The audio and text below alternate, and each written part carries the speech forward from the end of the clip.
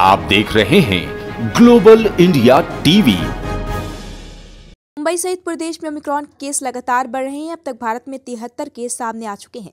इनमें सबसे ज़्यादा बत्तीस केस महाराष्ट्र में सामने आए हैं। महाराष्ट्र में बुधवार को यहाँ चार नए केस मिले हैं। इसके बाद मुंबई में धारा एक लागू कर दी गई है। धारा एक सौ सोलह दिसंबर से इकतीस दिसंबर आधी रात तक रहेगी। इसका मतलब यह है कि मायानगरी में न्यू ईयर का जश्न फीका पड़ सकता है।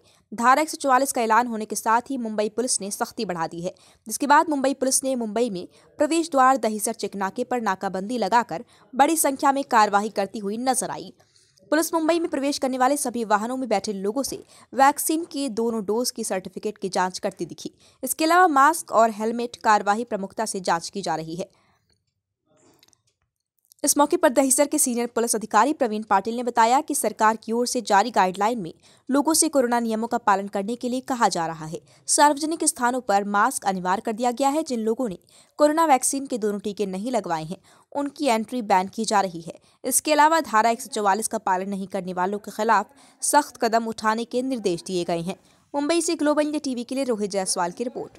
इस तरीके से आप पूरी खबरदारी लिया जा रहा है पुलिस की वजह से। कल रात से मुंबई में धारा एक जारी हुई है। एक जारी होने के, एक कल से रात से थर्टी फ़र्स्ट दिसंबर तक जारी है। तो दहीसर चेकना का जो है, ये मुंबई का प्रवेश द्वार है। यहाँ प्रवेश मीरा भाईंदर, वैसे ही पालघर, वसई और थाना तक की तरफ़ से आने वाले लोग यहाँ प्रवेश करते हैं। मुंबई में काम धंधे के लिए आते हैं। तो उनके पास दोनों डोज लिए हुए वैक्सीनेशन सर्टिफिकेट की ज़रूरी है। और जिन्होंने दोनों डोज लिए है, वही प्रवेश करे या जिधर उनको जाना है, जर्नी करे। ऐसा एक आदेश जारी हुआ है। तो हम लोग चेक नाका पे जो रैंडमली गाड़ियाँ चेक करते हैं और जिनके पास दोनों वैक्सीनेशन का सर्टिफिकेट है कि नहीं, वो चेक कर रहे हैं। और जो कोई विदाउट मास्क प्रवेश करता है, उनके ऊपर भी कार्रवाई कर रहे हैं।